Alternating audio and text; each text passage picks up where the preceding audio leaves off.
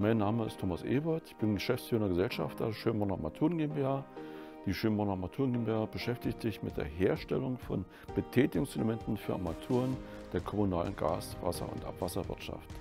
Speziell ist unser Produkt die Eimerrohitur, mit der der Medienfluss im Rohr in der Leitung äh, gesteuert werden kann, geregelt werden kann.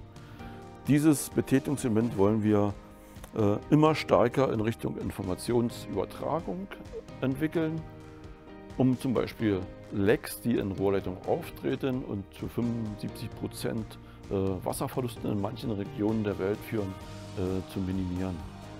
Diese ganzen Materialien, die wir hier brauchen, stellen wir mit einer sehr hohen Fertigungstiefe her bei uns auf Maschinen, auf Anlagen, die wir zum Teil selber entwickelt haben und hier in der Region fertigen lassen haben.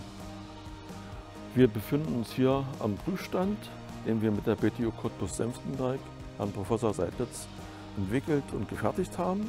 Wir können hier am Prüfstand mit diesen Lautsprechern Schallwellen nachstellen, die ein Leck äh, simulieren, können diese Schallwellen über unser patentiertes Gestänge, was sich hier im Schutzrohrsystem befindet, bis hoch in die Straßenkappe weiterleiten, wo es von der Messtechnik aufgenommen wird und den Netzbetreibern zugestellt wird.